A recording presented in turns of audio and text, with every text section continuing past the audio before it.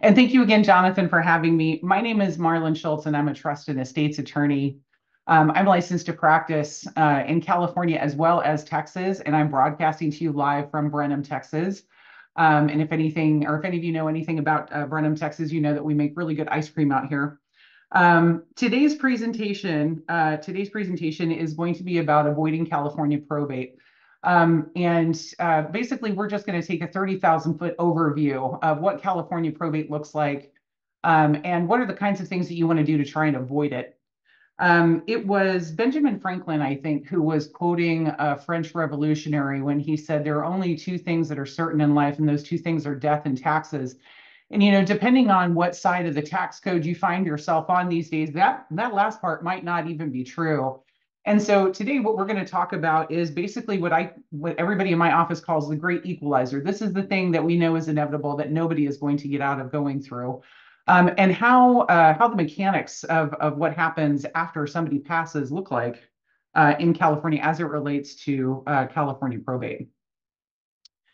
So um, this gives you a little bit about my educational pedigree, um, and you can read through that at your leisure. There is a QR code here at the bottom of the screen. There are so many participants today. There's really no way that we're going to get through all of your questions at the end of this. Um, and so if you have questions uh, that you want to have asked, um, go ahead and scan that QR code and uh, schedule some time with me uh, so that we can discuss what your uh, what your question or concerns are. Um, so this gives you a little bit of information about me, um, but honestly, the reason why I uh, chose estate planning as the area of law that I wanted to practice was because when I was in my 20s, I lost my father uh, to um, a very predictable and very terminal uh, disease. And my mother ended up going through a probate proceeding with a lawyer who really didn't treat her very well and wasn't very engaged in the process, had really bad client side manner. Um, and we actually found out when she went to go sell the house later that this lawyer had forgotten to record the deed evidencing the transfer out of my dad's name and into uh, just her name. Um, and so that kind of pushed me towards wanting to do something better uh, for my clients because I had been through that, watched somebody go through that, and I swore up and down we would never go through something like that ever again. Um, and so that's really my motivation to do this and also to give presentations like this to all of you wonderful people. So what should you expect for the next 45 minutes? Um, and again, there's that QR code. It's going to be at the bottom of every slide. Um, for the next 45 minutes, I'm going to do my best to keep this as entertaining as possible. I do know that it, it is 420 today in San Francisco. And so um, because this is being recorded, I guess that means that if you've if you've already enjoyed part of the day today, um, you don't have to worry about missing anything. Um, and in terms of entertainment, what we're going to be doing is uh, basically just defining uh, what that probate process in California looks like um, and what are the common issues with probate and how do we go about avoiding them? Really, avoiding probate in California is going to be your number one goal if you are a California resident. Um, and we'll talk about why it, that is exactly. Uh, we're also going to have uh, a discussion of the components of a very well-rounded estate plan, what every Californian should have uh, at their fingertips in terms of that estate plan. And if there is any time left over, we'll go ahead and take a few questions from the chat. And the chat is live. Um, and Jonathan said that he would be monitoring that for us. Um, but again, if you have any questions that either you don't feel like discussing in front of a group setting, uh, that's 100% understandable. Go ahead and scan that QR code. Or if we just don't get to you uh, by the time this uh, is slated to end, we can always uh, schedule some time later. The one thing I do want to say, though, uh, just as a disclaimer, um, I am an attorney, but I am not your attorney. And I think that that's really important to sort of uh, flesh out here that really um, I'm not giving anybody any legal advice today, that everything that we're going to be discussing here is going to be a 30,000 foot view of what California probate looks like. Um, and because it's not legal advice, it also means that we're not creating an attorney-client relationship. Um, and I just want to make sure that that's really clear. So without much more ado, let's jump into the meat of this. Um, so what is probate? You know, you hear that word tossed around a lot when people pass away. And the reality is uh, probate is basically the court ordered process of winding up somebody's affairs when they pass away. Um, and in short, it means that um, we're going to be appointing an administrator or an executor, um, which is the person who um, establishes what exactly the property in the estate is. They marshal those assets together. They work with a court appointed probate referee um, to assign values uh, to those items that are in the estate. Uh, they work uh, to identify heirs to make sure that we know where those things are going. Um, and then once the court approves all of that paperwork, um, then we make a final distribution at the end. Um, and that's actually when your probate attorney in California gets paid. Um, so, you know, more broadly, again, it's just the process um, of administering an estate. So you must be saying to yourselves, okay, well, it sounds so simple. you know, this sounds like a very simple process. And the reality is, is on paper, it is very simple. Um, there are just, again, a couple of steps. Somebody passes away, somebody shows up in court and says this person has died. Um, we start marshaling assets, we start identifying heirs, um, and then we make final distributions and everybody gets their things, the lawyer gets paid and everybody goes home. And that's that's pretty much how it works out. However, um, in California, uh, probate is um, it's a really long and drawn out process, unfortunately. Um, these are some reasons why you're going to want to try and avoid probate. Um, first, it can take years to complete, and I mean that in a very literal sense. The average time it takes to complete a probate procedure in California is 12 months. So you're talking about 12 months from the day that you set that first filing in court, about 12 months later, maybe longer, um, you will be stepping out of court and being done with this. The final distribution will be had, your attorney will be paid, and you can go about your life. Um, the problem, though, is that depending on what county that you may have uh, passed away in or, or, your estate seems to reside in, um, that can take much longer. And if you have assets in multiple counties, uh, that probate procedure is going to take obviously longer than that. Um, and if you have probated uh, assets in other states, um, now you're opening probate in California in whatever county. Um, and then again in the county where your uh, other assets in other states may lie. And so that 12 month period can actually inflate itself to about 18 months and sometimes two years, three years. And that's assuming that everything is identifiable, that all of our heirs and beneficiaries agree to the terms of things that are being split up, and there are no arguments about um, where things are going or how they're going to be distributed. And that is usually the case that people are, are very content to just get their share. Um, but sometimes people fight, um, and that can be uh, that can be a really expensive process. Which actually leads me to my second bullet point. Um, it is expensive. Uh, the California uh, legislature has set the probate fees that your lawyer can charge you by statute. Um, and that is based on the total amount of property attributed to the California estate at the time of death. So think about this from the perspective of, well, let's say, let's say that you have a $1.5 million estate in California, which basically means that you may have a parcel of real property, maybe you have a retirement account. If you live in San Francisco, it means that you own a shack somewhere, uh, probably in the sunset. Um, and it's probably a beautiful place. Um, but the problem is uh, now that you have a $1.5 million estate, once you've passed away, that all needs to go through probate. And the total fees that you can expect to pay on a $1.5 million estate is somewhere in the neighborhood of $55,000, $56,000. And that is divided up. One half that goes to your executor or your administrator of the estate. Uh, the other half goes to your attorney. Um, and again, um, that's a pretty that's a pretty steep fee. Uh, and a well-rounded estate plan will probably cost you about 10% of that. And again, um, much more control over a well-rounded estate plan and hardly any control over a probate proceeding. Um, and that's also something that you want to avoid. Um, also, you know, the probate process is very public. So all of that information that I just described, you know, the, the list of assets, the list of heirs and beneficiaries, whether or not people are arguing about these things, all of that is public because all of it has to be filed in court. Um, and so anybody, and I do mean anybody, can go to the San Francisco uh, public records. They can go into the civil court, into probate court, and start asking for records um, about your probated estate. Um, and so that means that if you have heirs or beneficiaries that are um, uh, subject to being scammed, if they're highly suggestible, or perhaps you have uh, somebody who is on means-based public benefits, um, all of these, all of these are the kinds of things that that can lead to disastrous effects, and they they can literally find out who your heirs are, how much they're getting, and when they're getting it. Um, that is also something that you really, really do want to avoid. And again, I think the last reason why you want to avoid probate um, is that you care about your family. You know, uh, your family is one of the most important things that you will ever have in your life, if not the most important thing. Um, and I can say from, again, personal experience, watching my mother go through this, again, very, very tragic situation with this lawyer, um, you can avoid all of that. Um, the other thing that you may want to consider is, you know, whether or not whether or not your family member has to show up in court and start testifying to family and marital history. Um, I've seen that happen as well, and that's generally something that happens in a California probate proceeding. You have to have somebody stand up and discuss the family and marital history of the of the person who's died, and if that's a surviving spouse who's having a really hard time going through that, um, standing up in front of a judge and testifying to those facts may not be something that they really feel comfortable doing, or nor do they want to do. Um, so again, a really well-rounded estate plan can take care of a lot of that.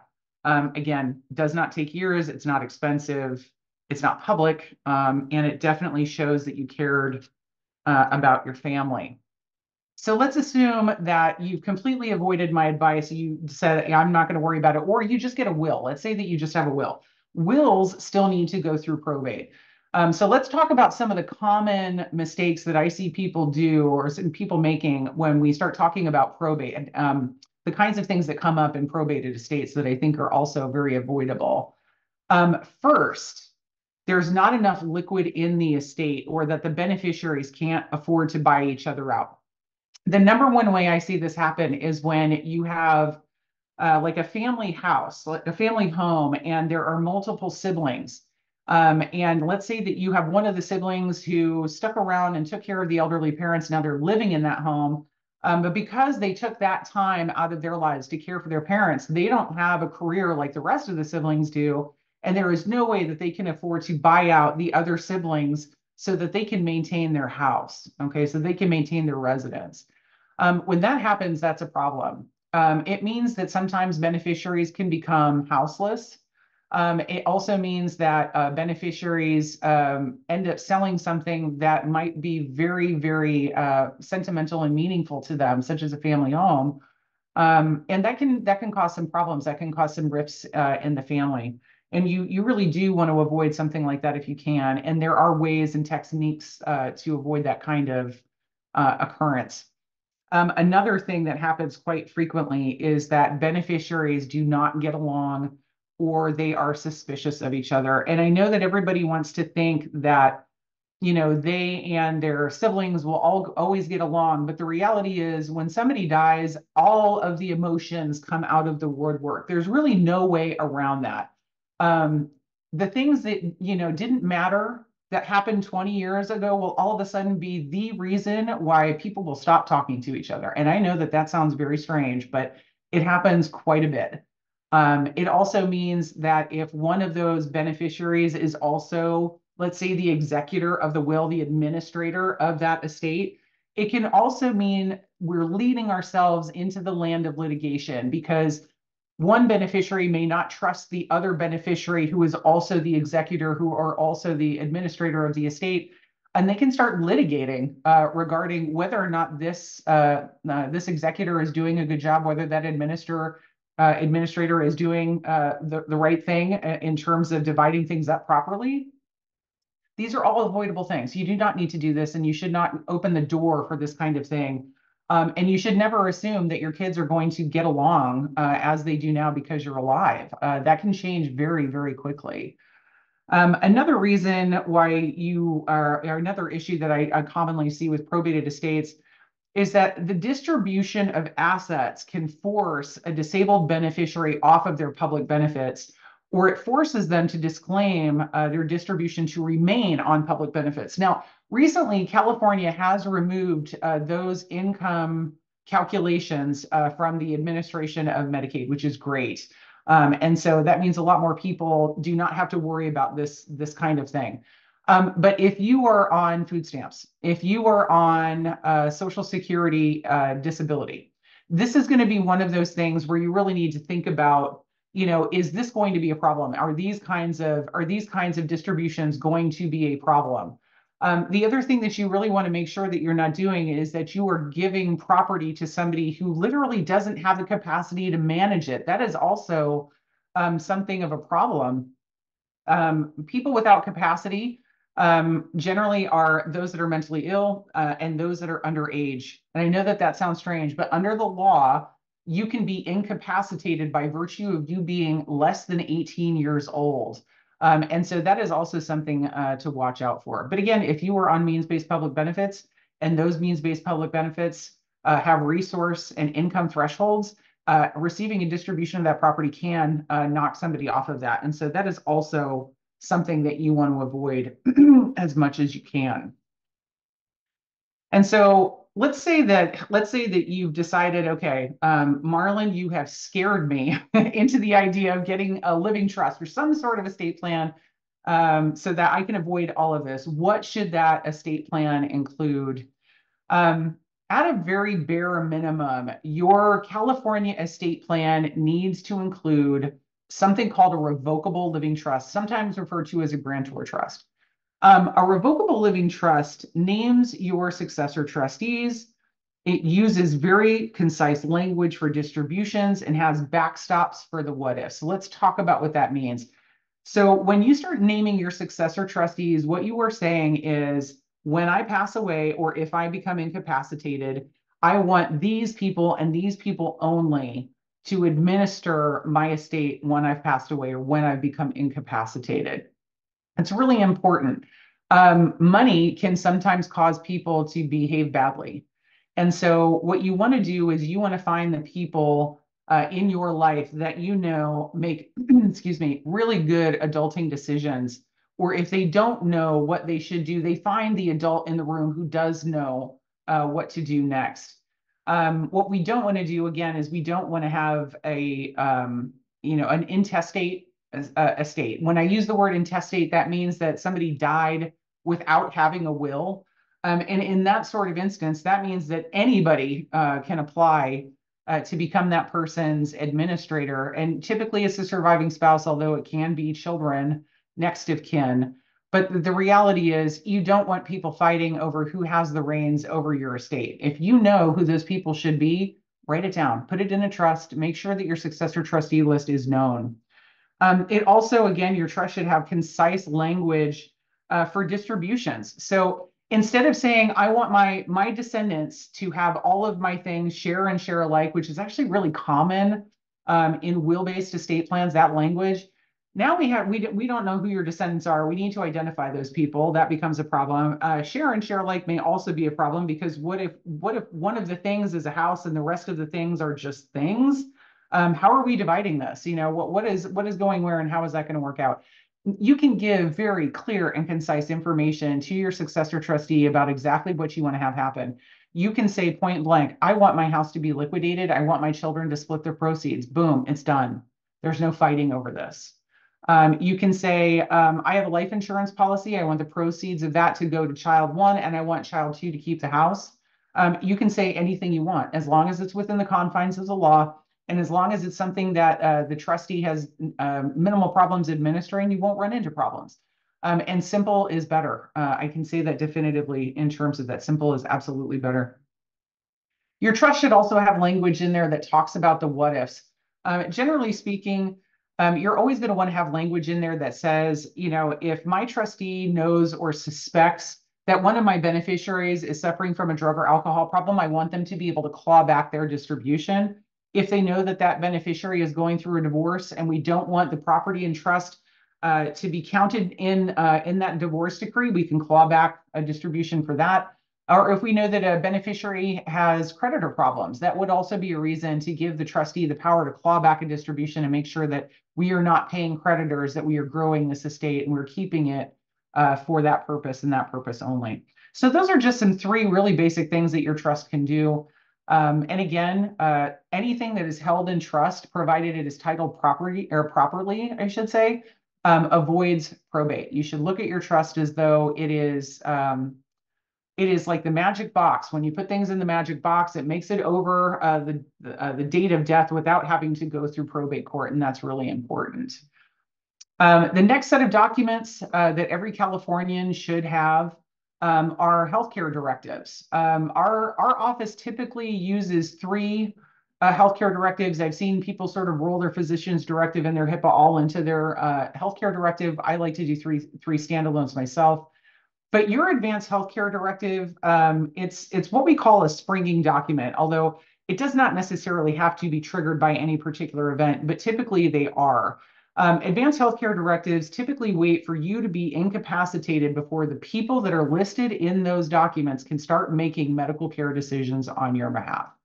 Um, this can be um, anything up to, um, you know, what kind of medications you do or do not want to be treated with, and it can include that end of life care. So if you're in that persistent vegetative state and to a reasonable degree of medical certainty you're not coming out of it, this document and your physician's directive, and we'll talk about that in a minute, um, should give the medical community as well as your agents uh, under that uh, under that document very clear and concise language as to what they should be doing in that kind of situation. Um, a HIPAA authorization is always a good thing to have on hand. Uh, a HIPAA authorization is simply a document that allows the people that you have listed in it to access your medical records in the event that they need to. Um, this is typically a document that does not require a finding of incapacity before uh, before the powers uh, go into effect. It usually goes live uh, once you sign it. Um, and again, it's just really important. There may be uh, instances where you uh, have capacity, but you may not be ambulatory. Uh, I have a friend of mine who actually fell off a mountain in Lake Tahoe. I don't know how that happens, um, but apparently it does happen. Um, and unfortunately for him, he was stuck in traction in Truckee, and somebody had to drive to Truckee to get his x-rays and drive them to the specialist in San Francisco. And this was, of course, way before internet was uh, in existence. I know I'm dating myself on that. Um, but in those kinds of instances, he absolutely had capacity, but there was no way he was getting out of that full body cast just to drive to uh, San Francisco with his x-rays. So again, a, a, good document to have on file. Your physician's directive, again, it's sort of the sister document to the advanced healthcare directive. This will absolutely need um, some formal finding of incapacity before anybody can make medical care decisions for you uh, about end-of-life care. I want to be really clear, this is not a DNR. A DNR, a do not resuscitate order, is generally something that you sign at the facility level. Um, and it's usually reserved for people that are in their 90s or people that have a terminal illness, and it's very clear that they should not be resuscitated. Um, the physician's directive does give very clear, uh, concise information to your agents as to what your preferences are in the event you are in that persistent vegetative state. Um, so I, am also going to date myself by saying this, but uh, probably about 20 or 30 years ago, there was a woman in Florida. Her name was Terri Schiavo. Um, and Ms. Schiavo, unfortunately, had an accident that put her in that persistent vegetative state. Um, and the medical community uh, consulted with her husband, and they both agreed that um, she is likely never going to come out of this. And she never wanted to be in this kind of state long term. At least that's what her husband said. And so they made the decision collectively uh, to, to end and terminate uh, life, uh, life support. Um, unfortunately, her parents stepped in and filed an injunctive or and filed for injunctive relief in Florida. Um, and they litigated for 10 years whether or not they were going to uh, end that uh, that end of life, or I should say, terminate her end of life care. Um, 10 years is a long time to be in a persistent vegetative state. I'm sure everybody here can agree to that. But um, that's not the only thing that you need to think about, although that is a, a, major factor in this. You also need to think about what 10 years of litigation costs look like and 10 years of healthcare costs. Um, that that can drain your estate very, very quickly. And if it, if it's your goal to make sure that your heirs and beneficiaries have a legacy from you, then this is a document that you absolutely should be signing. Um, another thing that you may want to consider, and this is basically a conversation that you should be having with your elderly family members. Um, if you are in your 80s or 90s, uh, CPR is incredibly traumatic on an elderly body, and to a point where they have to press, they have to compress your chest cavity about two and a half inches to make a full chest compression. Um, and that is devastating to an elderly body. And even if they do come out of it, um, their quality of life, if they had one to begin with, is going to be much reduced as a result of that happening.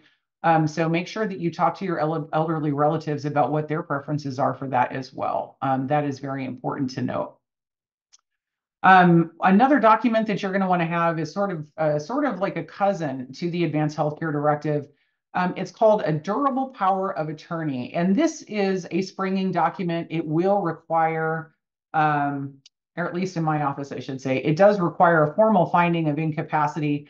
This allows the people that you have listed in that document to make decisions about your finances and about your property. So basically, anything that you can do with your property today is something that your agents under that document would be able to do on your behalf. the great thing about that, though, is that if you've picked the right adults, right, if you've picked the same good adults uh, that make good adulting decisions and know where to find uh, the adult in the room to do the right thing uh, when it comes to making those kinds of decisions, then this is not going to be a scary document to sign. If you have picked questionable people to manage your finances and property when you're incapacitated, this is going to be one of the scariest documents you ever sign. I'll be I'll be very brutally honest with you about that. Um, basically, what you should think about this document is having the power to do anything that you can do with your property as well. So that's anything from taking money out of your wallet and giving it to a homeless person, excuse me, all the way up to putting a reverse mortgage on your house and everything in between. Um, and so it's just really important, uh, again, that you've picked the right people uh, that have the ability to manage those finances and those property uh, pieces uh, when you're incapacitated. Um, the other document, the last document that I want to uh, talk to you to or you guys about is um, the guardianship nomination for minor children. Um, as a parent, this is going to be the most important document you will probably ever sign outside of your own estate planning documents. This document allows you to choose who your permanent and temporary guardians are for your minor children. Um, it also gives direction for their education and it can allow you to express any kind of aspirations that you want to have known about how you want them to be raised in the event that you are either incapacitated long term um, or you have passed away uh, unexpectedly. Um, I don't I don't know uh, much about the California Child Protective Services uh, uh, uh agency. Um, I can tell you though that you know if you've lost your parents you're already having a very very hard time especially if you are a child. It, it is it is much harder when you don't know where you're going to be going who is going to be taking care of you. Um, you don't want to spend a whole lot of time in the hands of a cps agent um, that is very traumatizing already um, so having this kind of information at hand really helps to sort of you know close the loop on those kinds of things happening and really make sure that your children are placed in the hands of the right people uh, at the time that they need that, uh, that kind of placement. So now that we've talked about what the components of a California estate plan should include, let's talk about what a California estate plan should accomplish. Okay. First and foremost, you want to avoid California probate. Um, and again, the only way you're going to be able to do that is by making sure that your beneficiary designations are filled out, uh, by making sure that you have uh, either transfer on death deeds or uh, you know pay on death designations added to your bank accounts. Um, frankly, the best way, in my opinion, is to get a revocable living trust and to fully fund that trust. Trust funding basically means that you are retitling assets out of your name as an individual and putting them into the name of the trust, or you are changing the beneficiary designations on, like, say, your life insurance policies and your retirement accounts from individuals to the trust. Um, even if you have a beneficiary designation filled out, technically that will avoid probate. But if the people that you've listed have also passed away, i.e. the beneficiary designation has not been updated, then that means that that asset is going to go through probate as well. So again, naming a trust is a really great idea. Trusts don't die. People die all the time. Um, and so I do recommend, again, probate avoidance. Uh, there are there are fancier ways to get around it, but there is no better way than to do this through a revocable living trust. Um, your trust, again, your California estate plan should um, use very concise language to identify your trustees. Again, you really want to make sure that the lineage of people um, that you've chosen um, are the only people that are managing your affairs after you've passed away. Um, it is just so important. And you also want to make sure that that lineage is known to people who may argue uh, that you've uh, chosen those people. Um, the reality is, unless your trust was signed under duress, um, they're not going to be able to um, uh, to get those successor trustees out of that list, absent some sort of bad acting on their part. Um, another thing that your California estate plan should do, uh, it should absolutely clearly identify your heirs and beneficiaries. Again, do not use an estate plan that says, I want this all to go to my descendants to share and share alike. Name your descendants, name who they are. Do you have two children? name them, give me your, their birthdays, let the court and anybody else who's interested in this know these are the people that I'm referring to, and if not to them, then to their descendants. Um, make sure that that is very clear and concise. Um, you can also name charities. That's another that's another great way to um, uh, to get rid of assets if you need to. Um, charities uh, sometimes go out of business, unfortunately, but there's always language in there that says, you know, to this charity or to something similar. So there will always be a path, um, even if that charity uh, no longer exists. Um, a California estate plan should also uh, accomplish effective transfers of your property with the with the express purpose of reducing conflict. So, for example, if you know that you have an asset that you, your two kids are going to fight over, you need to make a decision. You need to make a decision as to who is going to get that and who is going to get something else in lieu of that. Um, don't leave it up to them to duke it out in court. Don't leave it to them to ruin their relationship with each other uh, just because you couldn't you could not put the the, the pen to paper on this. Um, avoid the conflict at all costs. Believe me conflict is expensive. It takes a lot of time. Um, and that's another way that your estate can be spent through is by your your trustee or you know whomever uh, having to litigate against whoever is attacking uh, the distribution. So if you can avoid that you should um, the other thing that you are going to want to do with your California estate plan, and we didn't really talk about this, but um, it should reduce or eliminate uh, your exposure to tax. So let's talk about that. Right now in California, there is no inheritance tax. There is no estate tax that's levied. Uh, so when somebody dies, that is not a tax that's levied uh, on a decedent's estate. But uh, the federal government has said that if you have $13.61 million in your estate when you pass away, that 13.61 million and first dollar will be taxed at 40%. So for every dollar over that, you will be taxed at 40%. Um, you should have language uh, in your estate plan to reduce or eliminate that tax exposure uh, if at all possible. And there are ways to do it. Um, and a lot of you may be sort of, you know, scratching your head and saying, Marlon, I and nobody I know, myself included, has $13.61 million. And I, I understand that. But the tax code is slated to change at the end of 2025. And so that $13.61 million figure per person is actually going to be reduced to somewhere we think probably 6.3, 6.4 million dollars per person. And again, you may be saying I'm nowhere near hitting that. But when you factor in a piece of real estate in San Francisco, let's say one or two retirement accounts, um, and maybe some personal property, and maybe some inheritance from from somebody else, um, it's actually not hard for a Californian to inadvertently hit $6.5 million without even knowing that they're there. So I do recommend that, again, you need to be very conscientious of what that tax code is going to do at the end of 2025. Um, the other thing that you're going to want to do is you're going to want to take a look at how your properties are titled. So for example, um, if you have a piece of real estate in San Francisco and it's you and your spouse that have purchased this piece of property, what you don't want to see on that deed is joint tenants. Um, if you see that it's you and your spouse as joint tenants, that means that when the first of you dies, you get a step up in basis to current market value. Okay.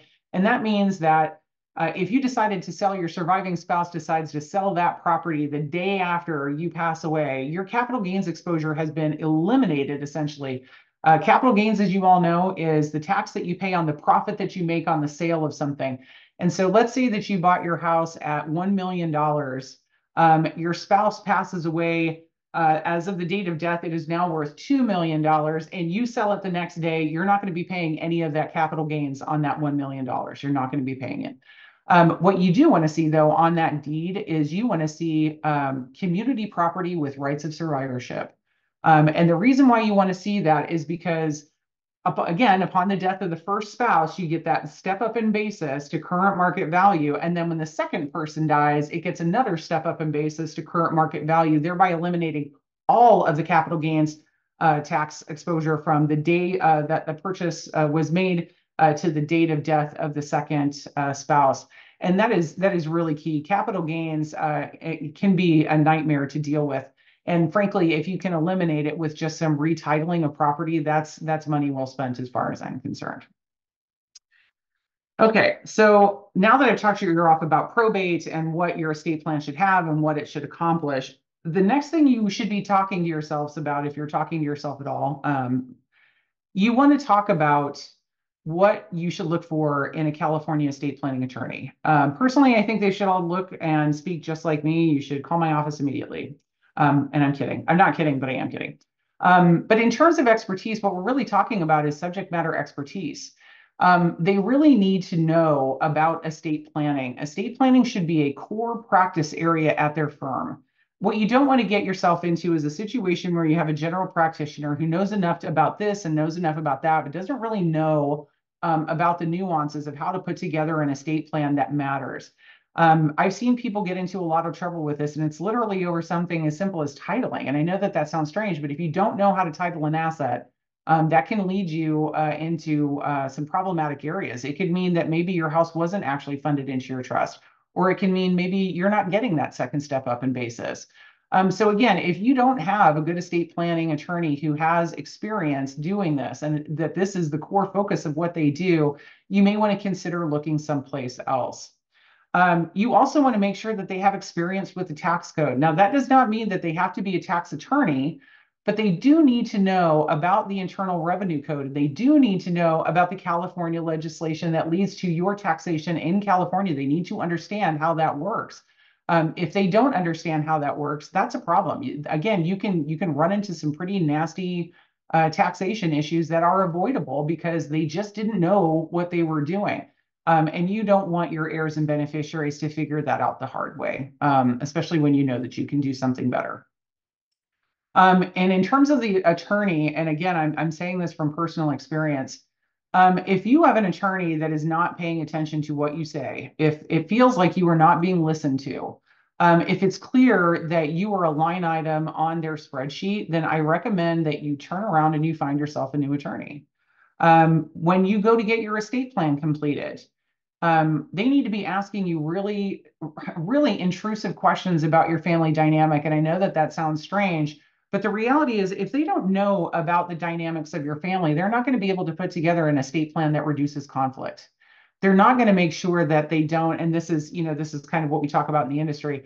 They don't want to put the proverbial drunk uncle in charge of the kids' trust fund. And that can happen. If you are not being asked those questions, that can absolutely happen. Um, and also sometimes sometimes people need to walk through their relationships with their relatives and really examine whether or not it's a healthy relationship to begin with, whether or not this person should even be in charge of a trust. Um, and so again, without without having an attorney who is willing to make that deep dive with you, I don't think that that's a good estate plan that you should be putting into effect. And I don't think that's an attorney that you're going to want to go with.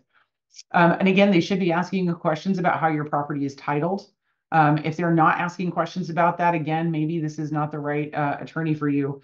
And last but not least, and I say this a lot to my clients, if you don't get a good feeling from somebody, walk away. There's there's no shame in that. There's nothing wrong with that. Um, most attorneys will give you, you know, 15, 20 minutes of free time so that way you can uh, get a feel for them and they can get a feel for you. Believe me, us attorneys, we do want to make sure that the people that we're taking on are not crazy. Um, and so you can bet that 15 minutes that we give you is definitely checking you for that. Um, but we want to make sure that you get a good feeling from us too. And that's that's really the whole point is making sure that this is not a transaction. This is a relationship. Um, and it should be a relationship that you build for the long term.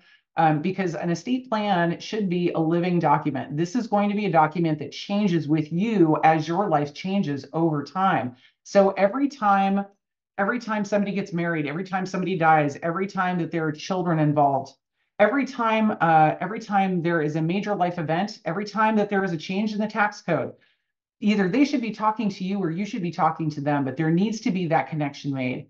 Um, and you're not going to have that connection if you don't have a good feeling uh, from the attorney that you're speaking with. So again, just make sure that you're uh, you're really getting a good feeling for that.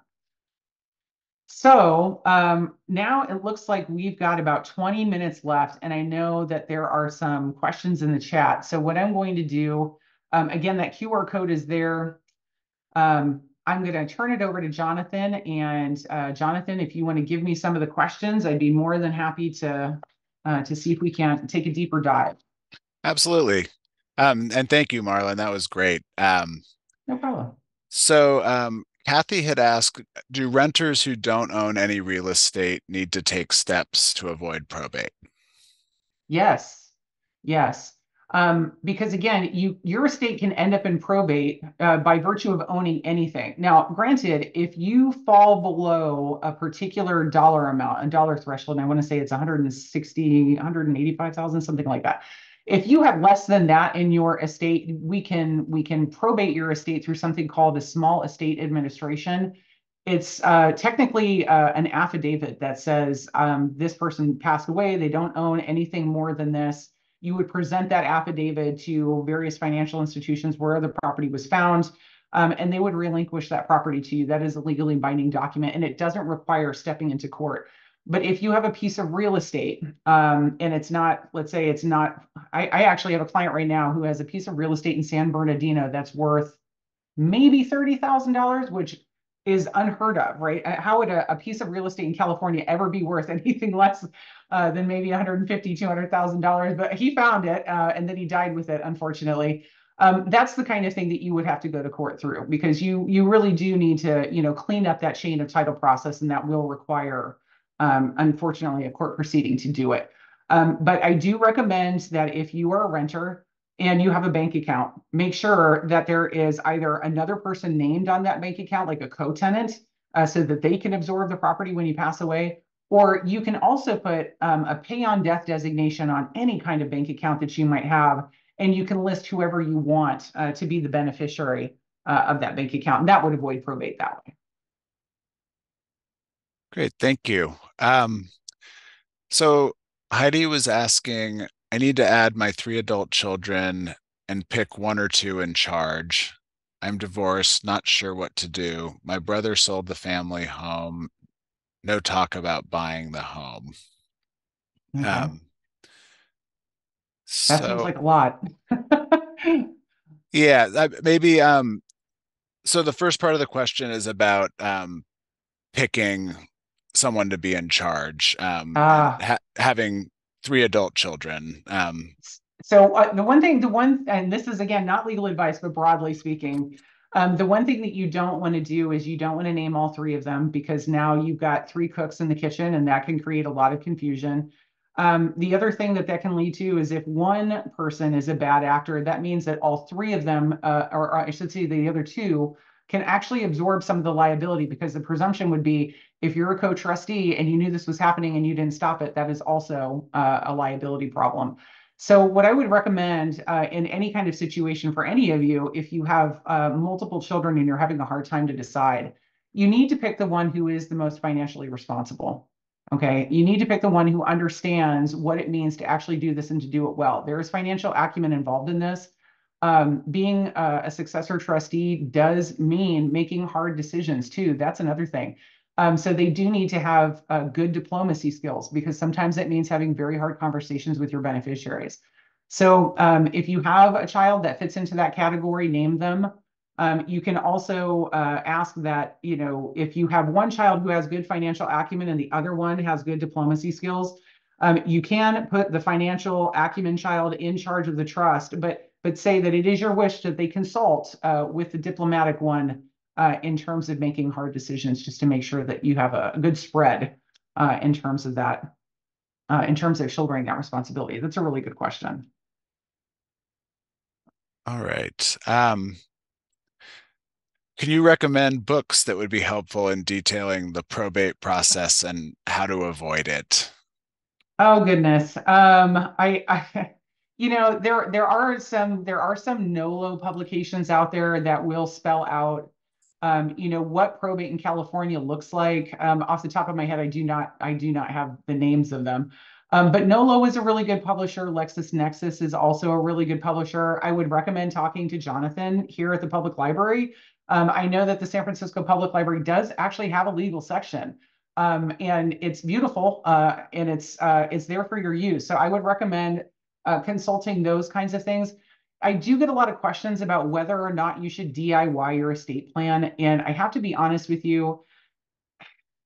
I don't think you should. And I'm not saying that because I have a profit motive. I mean, I, I will absolutely recognize that I have that. But there is a cottage industry of attorneys that do nothing but fix problems with estate plans once somebody has self drafted them.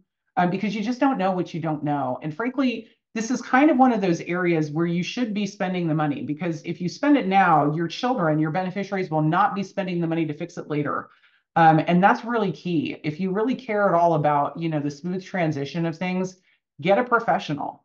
You know, like you wouldn't, you wouldn't, you wouldn't ask your, like, I don't know that you would actually go onto YouTube and try to figure out how to replumb your entire house.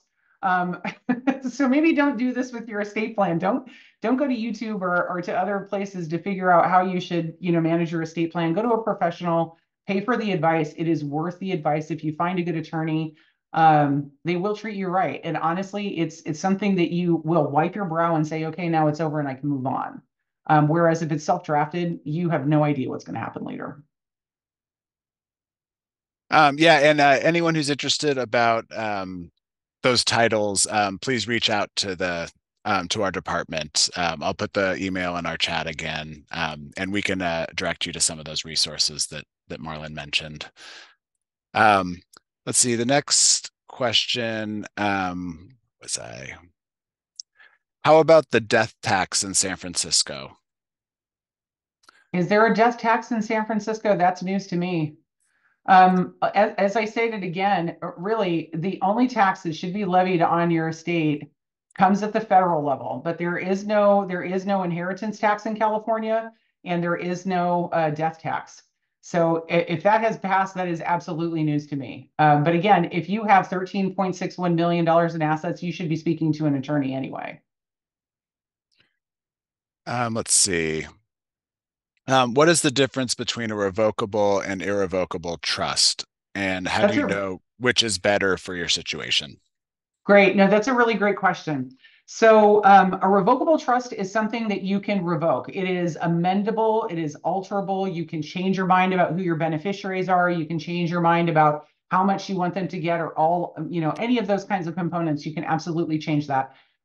A revocable trust is something that is exactly that. It is irrevocable. Okay. And so what that means is when you place assets into it, you have named your beneficiaries, the assets are in there, and you no longer retain control over those assets. Okay. Um, an irrevocable trust is a really good tool if you are in that taxable estate situation and you need to get assets out of your estate before you pass away.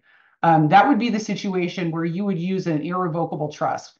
Um, people have a tendency to think that you can put all of your assets into an irrevocable trust and you can avoid creditors that way. Um, you can do that. I'm not going to tell you that you should, though, because essentially what you've done is you created a situation where your assets exist in a trust that you can now no longer access. You cannot be the beneficiary and you cannot change it. Okay. So the irrevocable trust situation, honestly, I reserve those for my clients that have that taxable estate problem but the revocable trust is really for like everybody else. Like that's that's the trust that i use for myself. That's the trust that i use for my family. And it's literally because again you want the ability to to uh, be able to amend and revoke this. You do want this to also be treated um, as though it's a disregarded entity for tax purposes which uh, which is what a revocable trust uh, would be. Um, irrevocable trusts uh, they have their own tax id number. Uh, they get taxed at a very different level than individuals do. Uh, so if you have a revocable trust, it's taxed under your social security number. And that means that um, you're not paying any special taxes on it. It's just, it's like it doesn't even exist as far as the IRS is concerned. Um, but if you have an irrevocable trust, it typically has its own tax ID number. Um, and the taxation rates on trusts like that you know, that 40% number that we talked about uh, at 13.61 million, that actually occurs, uh, you know, in the low, or I should say, in the $15,000 worth of income in a trust level. And that's that's a lot to pay. Um, and so if you don't need an, an, irrevocable trust, if you don't have that kind of taxation problem, don't get one. It's not, it's not going to be worth it. All right. Um, the next question was, what about beneficiaries who are not U.S. citizens and do not have a social security number? Most bank accounts do not allow to add such beneficiaries. Okay. So um, if that's the case, if you have beneficiaries that are non-U.S. citizens and they don't have social security numbers, that's a really good question. I don't know that I've ever run into that before. Um, I, I suppose what you could do, uh, if you're not interested in getting a revocable living trust, um, what I would do theoretically is if you had a revocable living trust, name the trust uh, as the beneficiary of the bank account proceeds and then have the trust uh, distribute out those proceeds. Um, but honestly, if that's the case, my guess is the only thing that you would be able to do is maybe maybe name somebody else that you trust who would be able to make that distribution then to that person. Um, but there are reasons why banks don't let you do that. And, you know, it's generally speaking, they're concerned about money laundering and terrorist activity. They want it, they don't want it to go to somebody that shouldn't get it. Um, but you know, there that's probably the only workaround. I don't think I've ever encountered that before. Um, so that that's my only possible recommendation. Um, is just, you know, making sure that, you know, there's somebody that you trust that you've named that can maybe make that distribution to them instead. Okay, um, so this was a question about uh, property titles. Uh, married, a married couple taking title as joint tenant without specifying with right of survivorship would be problematic. Would that be problematic? I think is Yeah, so I, I don't, it's not, it's not necessarily problematic. Um, but what it does mean is because you're joint tenants and there is no right of survivorship, it basically means that that person's property interest in that property goes through probate. It's not necessarily absorbed by the other joint tenant. Um, you really do want to have the joint tenancy language in there that says with rights of survivorship, uh, just to clear that up. Um, I, I'll be honest with you, I'm not, I'm not a property attorney, uh, but I will say this, uh, again, retitling is not that expensive. It, it really isn't. It's the cost of a deed. I think that's maybe five or six hundred dollars plus your recording fees. Um, if that's the thing that's keeping you up at night, that's also money well spent. Um, if you do have a married couple, though, again, I would recommend getting rid of the joint tenancy scheme altogether and and declaring it community property with rights of survivorship. Um, because again, you, then you get that second step up in basis and you avoid all of that capital gains. all right. Uh, the next question, are CalPERS pensions included in living trusts? Generally speaking, no, uh, but the payouts will be. So if you if you wanted to make sure, like let's say that let's say that you had that sort of thing and your beneficiaries were minors, that means that they're too young to inherit anything under the law. It would end up in like a court registry or something like that, and that that on its own is expensive to administer. What you would do is you would change the beneficiary designation on that to the trust. Um, in, in many instances, your pensions, uh, they extinguish after you pass away. So there may be no survivor rights to it at all. Um, and so in, in, that instance, you would not have to worry about whether or not it was in trust because it wouldn't be counted towards your estate for uh, estate tax purposes or probate purposes for that matter. Um, but if you do have survivor benefits, um, or if it does have um, uh, excuse me, if it does, if it does have a beneficiary designation on it, um, you would name the trust in those kinds of instances, absolutely. Okay, um, where were we? Okay. In cases of bank accounts slash investment accounts with clearly defined beneficiaries, i.e. information provided to the bank, will the asset have to go into probate in the absence of a trust? No, so essentially what ends up happening, if your beneficiary designations are filled out properly, and the people that you've listed as beneficiaries are living at the time of that distribution, then that will 100% avoid probate. Um, I recommend to my clients, however, uh, name the trust and, and name your trust as your primary beneficiary again, because what you want to do is avoid a situation where if that beneficiary is not alive, then that is going to go through probate. If you if that beneficiary is predeceased and for whatever reason you forgot to change it, um, that can be that can be a really big problem. Um, another problem again that I see, and I just want to make mention of this, I see a lot of grandparents leaving things to grandkids that way. Um, and again, if your grandchildren are not over 18, this is going to be a problem. They're not they're not old enough to actually inherit anything, and so their parents end up being, you know, conservators basically of their estate.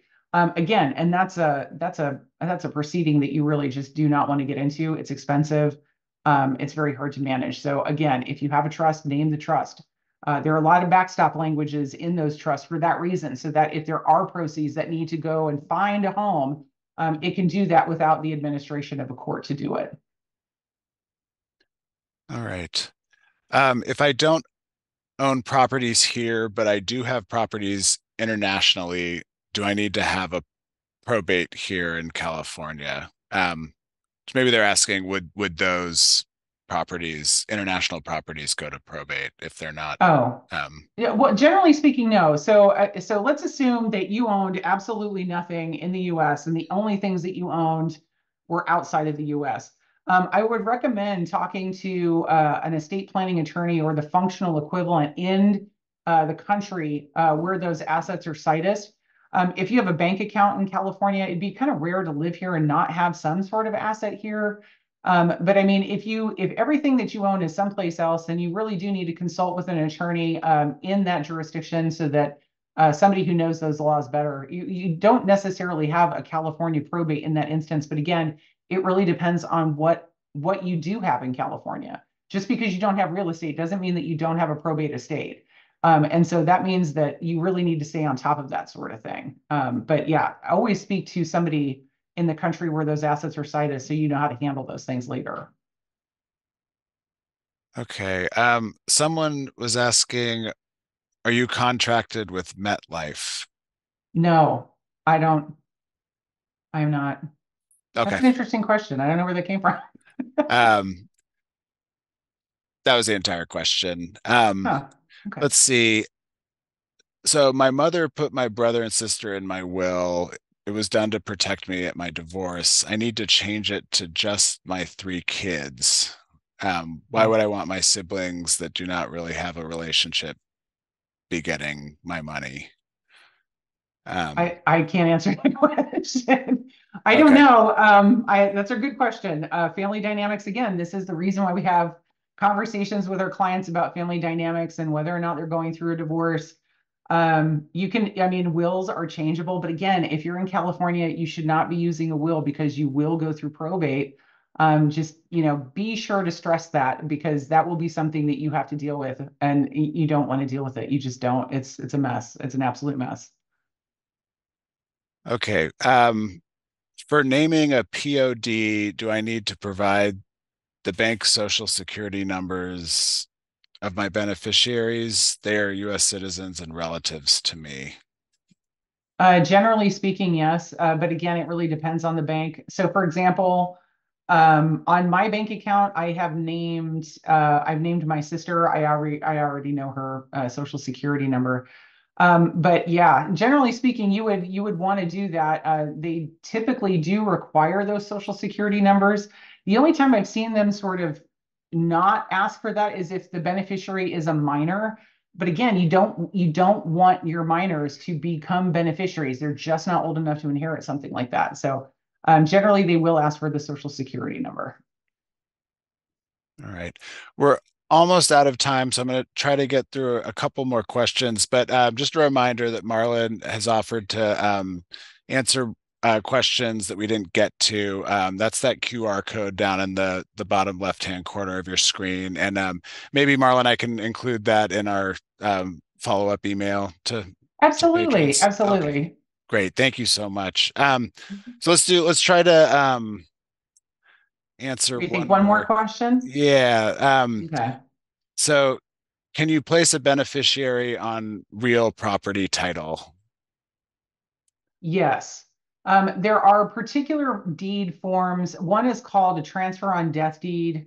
Um, and essentially what ends up happening is, uh, you know, the owner of the house passes away and then it automatically goes to uh, the, the named beneficiary. Um, in some jurisdictions, so like in, uh, in Texas, and I'm pretty sure they do this in California as well, they also have something called a ladybird deed. Um, a ladybird deed, it basically gives a present day transfer of the property to uh, to the named beneficiary, um, reserving a life estate uh, for the donor of the property. And this is really useful in terms of Medicaid planning uh, because what it does is it takes the property right out of that person's estate. We don't have to use it for Medicaid calculation purposes, although that's not applicable in California anymore. Um, but yes, you can you can use those kinds of transfer deeds absolutely. All right. Well, unfortunately, we're out of time. There was a lot, a lot of great questions there. So again, I will um, send everyone a follow-up email later with a link to the recording of this presentation, um, and I will include um, the link to um, reach out to Marlon if you your question we didn't get to your question. So um, keep an eye out for that. I'll also include a very, very brief uh, survey. It really helps us when you fill those out. Um, we use those to design future programming and improve on the services we offer. So please take a moment to do that. And yeah, I just want to thank Marlon for being here today. This was really great. Um, I learned a lot. Um, we're getting a lot of thank yous in the chat there. Um, and thanks everyone for for showing up today. I know it's a, if you're in the Bay Area, it's a beautiful day out there. So thanks for being with us today. Thank you again for having me, and thank you everybody for uh, for being present today. I appreciate that. All right, everyone. Enjoy the rest of your day, and uh, reach out to our department if uh, if you have any questions about library services and uh, those books that we mentioned. All right, take care.